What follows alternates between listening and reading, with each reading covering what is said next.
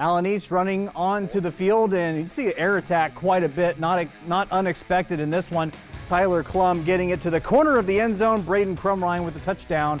Allen East on top, 7 0. How about some other passing? Getting out of trouble. Klum takes the hit, but going up and getting that, that's Braden Crumrine. Gavin Maxwell with the touchdown earlier, but Columbus Grove would come back. Blake Reynolds with the touchdown, running that in to give Columbus Grove the lead, and then putting them up maybe for good, going deep over the middle, hits Gabe Clement, his favorite target this season. It's 20 to 10. Looks like Columbus Grove is going to pull away from this one, but Allen East not done yet. Fourth and 10. Seven minutes remaining in the fourth quarter. Going across the middle, pass complete to Jacob Hirschberger for the first down. New life in the Mustang drive, and then next play, Klum takes it in himself, and now it's a three-point game, 20 to 17. Time ticking down, down to a minute 48 left in the fourth quarter. Klum rolling, finds Jacob Hirschberger all alone, and he takes it into the house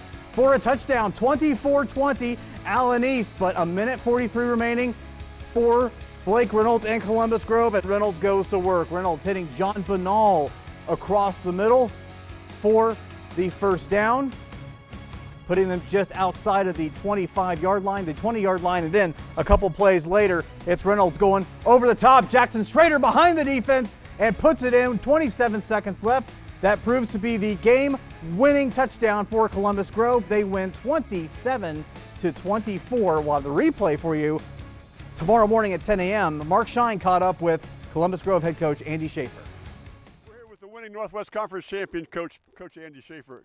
First of all, Coach, let's start out with this. What a great night for your conference to end up like this. It was neat. It was special, and uh, I couldn't have dreamt it uh, even better for our, us to, to get together, our athletic direct, directors, and say, let's have a conference champion. Let's have somebody that win it outright. And I tell you what, it was a heck of a game.